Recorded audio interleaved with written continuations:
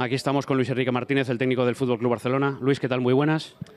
Pues muy bien, muy buenas. Eh, 3 a 0. No sé si tu sensación como técnico dentro del campo hace, a lo que has visto, hace mención, hace realidad de ese 3 a 0 lo que ha pasado, o, o si ha sido un partido más igualado de lo que dice ese resultado.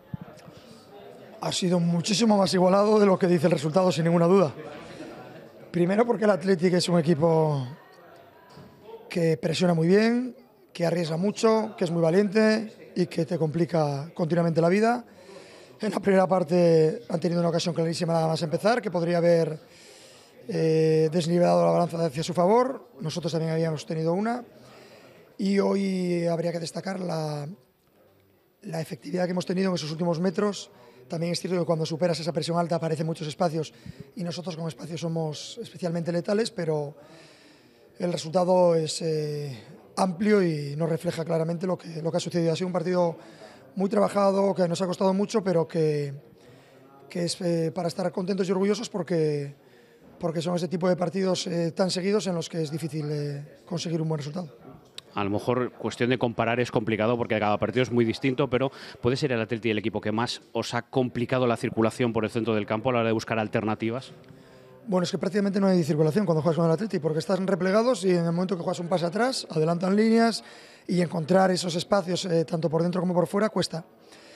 Eh, Hoy nos ha costado especialmente la primera parte, la segunda baja esa presión, porque a nivel físico es difícil mantener esa presión todo el partido y, y hemos encontrado más, más espacios. Pero bueno, el gol de Leo, el segundo y el primero de Paco han hecho que nos fuéramos al descanso con, con mayor tranquilidad y, y que pudiéramos incluso dar minutos y, y hacer descansar a algunos jugadores. Es el caso de Messi, ¿no? Tenerlo fresco para lo que queda.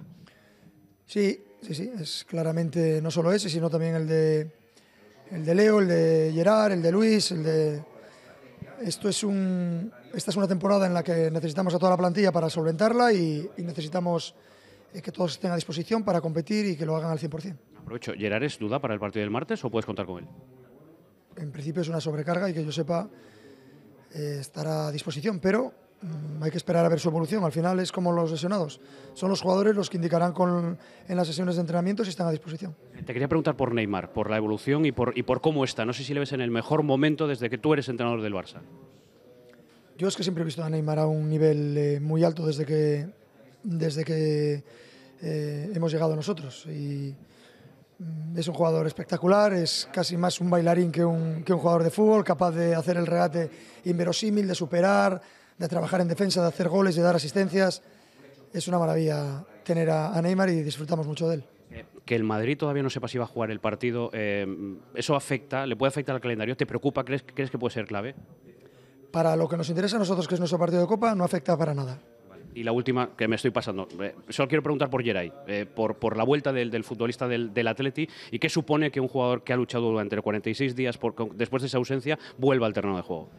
Pues supone una alegría muy grande, todo lo que sea en términos de salud que, que vuelva a recuperar su, su estado normal y futbolísticamente ya vemos que tiene muchas cosas que aportar, muy atrevido y bueno, creo que es eh, una grandísima noticia que ya comenté en la previa y nada, que disfrute mucho del fútbol y que haga disfrutar mucho a sus eh, aficionados y familiares. Gracias, enhorabuena. Gracias. Las palabras de Luis Enrique Martínez, el técnico del Fútbol Club Barcelona, abordando todos los